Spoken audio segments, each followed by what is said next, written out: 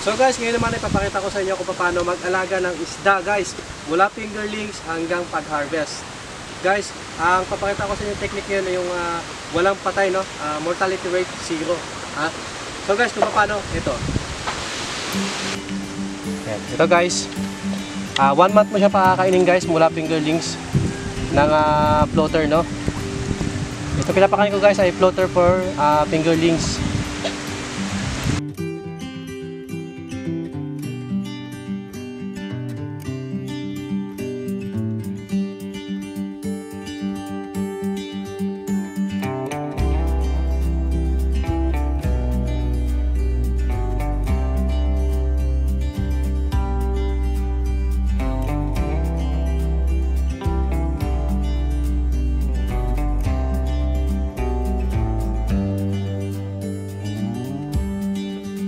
Basta, basta guys, lagi nyo natandaan na ang pagkapakain sa fingerlings ay isang beses lang sa isang araw. It's up, it's up to you kung uh, umaga o sa hapon. Basta isang beses lang. Kasi ang fingerlings guys, pag nasobrahan, ay uh, lumalaki yung tiyan nila. No? Pag lumaki yung tiyan nila, lumulobo, uh, namamatay sila, hindi sila makahinga. No? So, yun ang dahilan na pagkamatay nila. No? So, yung iba kasi guys, nang, ano, uh, nagigigil pag kumakain yung isda nila, tuwa sila, pinapakain ng madami. No? So, which is mali. Mali yun guys dapat ang pagkapakain sa fingerlings ay minimal lang. Uh, kontrolin mo lang kung gaano kadami yung kapakain. Ha?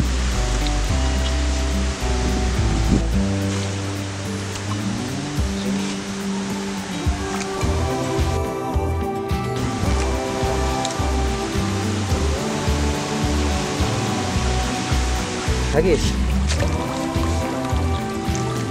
Dami.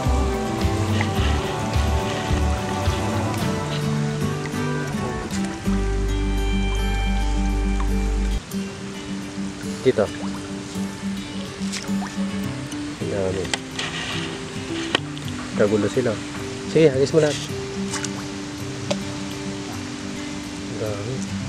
Sige,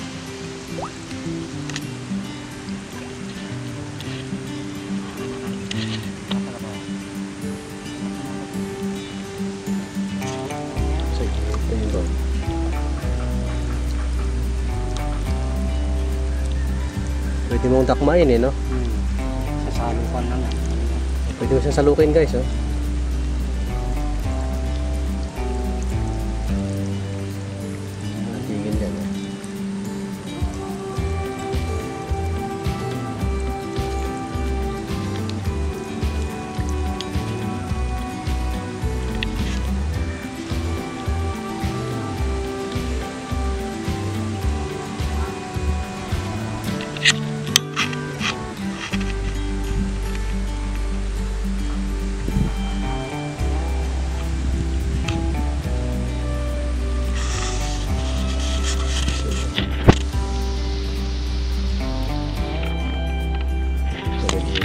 Tuntua sa gilid yan, eh.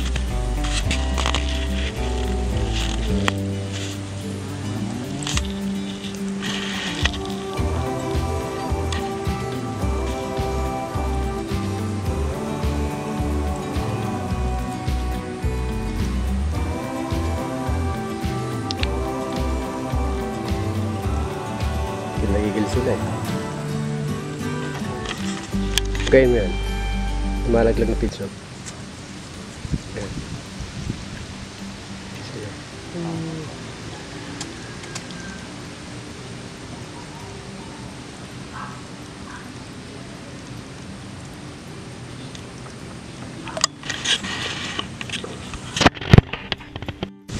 Ang pagkapakain sa ano guys, ang, ang uh, piece na binibili sa pagkain ng uh, fingerlings ay uh, hanggang sa manok din no. Uh, mayroong chick grower, mayroong ah, starter, pre-starter, mga ganyan. Ah, tapos mayroong ah, grower, ah, finisher, ganyan ha. Guys, parang ganun lang yan. Basta ah, one month, mag- one month ka magpapakain sa fingerlings ng ah, ah, pre-starter, ganyan. Tapos starter naman, one month ulit. Hanggang sa maka five, hanggang sa 5 months yan guys, finisher na. Ha? Again. So, ah, within 4 months guys, ah, kailangan marunong ka na magpakain ng ah, ah, hasang ng isda. Ah, pwede mo na siya pakainin ng ah, laman loob ng manok, ganyan, o ng hayop. Kahit anong hayop guys, yan pwede. Yan guys ha. Ayan o. Hasang na isda to guys ha. Hagis natin. Yan o. Ayun sa yan. Yan na. Yan.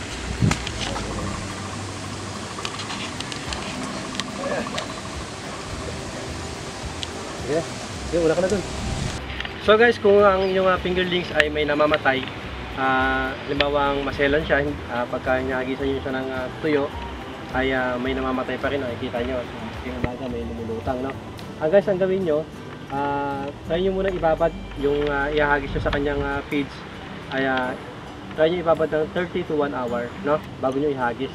Para, kasi ito guys, ay lumulubo to, pang, ah, pang noodles, gano'n. Pag, na, pag nababad siya, lumulubo to, eh, syempre, lumulubo sa loob ng tiyan ng ah, isda, no? So guys, ito naman ihagis natin dito ay uh, kakasa ano na to, kakasa 5 months. 5 months na to guys, itong ating ah, ating uh, hito na to. Papakita ko sa inyo. No? Ito guys, ayan. Ito guys ay finisher na to ha. Ito. Ayan, finisher na to guys. Para to sa 4 months to 6 months na isda ha. So guys, tingnan nyo to kung gaano kalaki ha. Pakita mo dito. Ayan. Ayan. Zoom mo yan. Tingnan mo, ayan, tingnan mo. So guys ha, tingnan nyo kung gaano kalaki to.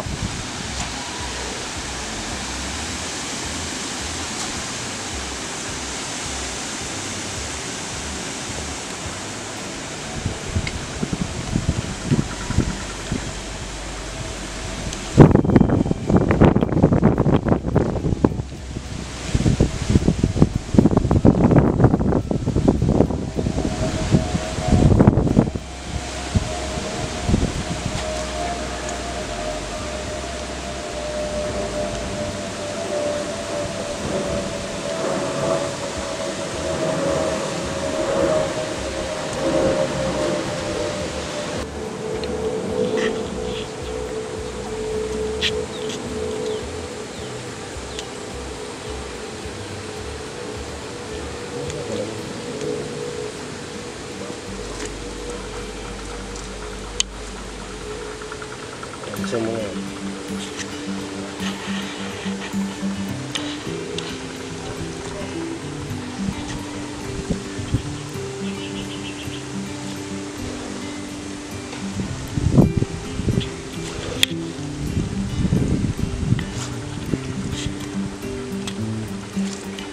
lalaki. Para pating.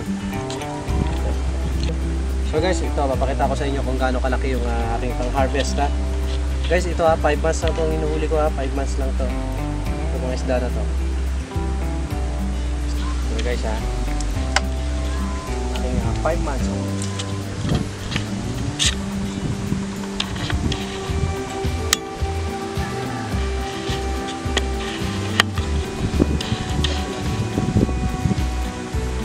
Yan guys, oh.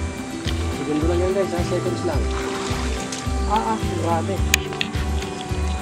So guys, oh. Ito ang aking 5 months. Okay. Ah. Kita nyo guys. Ito ang aking 5 months guys. Ah, diba?